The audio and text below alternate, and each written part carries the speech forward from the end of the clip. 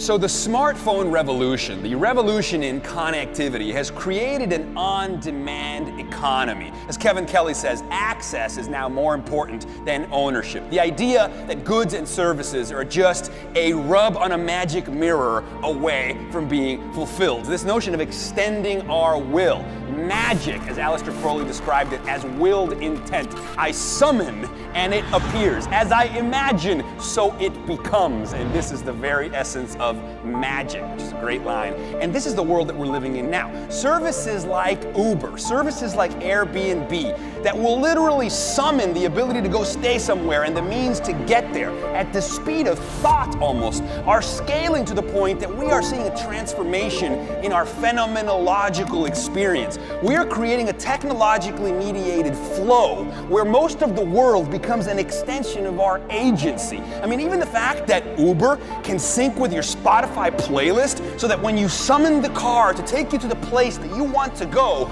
the car arrives and the music that you've previously soundscaped is already playing in the car, giving you the serendipitous experience of moving into spaces where all of a sudden everything's amazing. This is the song I like. This is the place I want to go. Oh, let's go somewhere. Oh, here's the car picking me up. Oh my God, I want to go stay at this beautiful mountain town. Oh my God, here's the apartment waiting for me. Just an Airbnb again. I mean, this on demand economy is transforming subjectivity. When we surrender into it, when we surrender into the space and the speed of the feedback loops between our creative choices and what is able to be summoned through our technological extensions, our technological scaffoldings, we actually step into a new space of consciousness. We step into a new way of perceiving reality. The whole thing becomes mental architecture. we cognitize the world. That's the AI revolution. That is the on demand economy. We extend our cognition, our mental neuroarchitecture out into the world.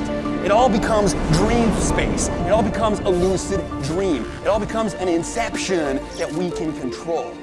That's the flow that is promised by the on demand economy. I find it very exciting. Very exciting.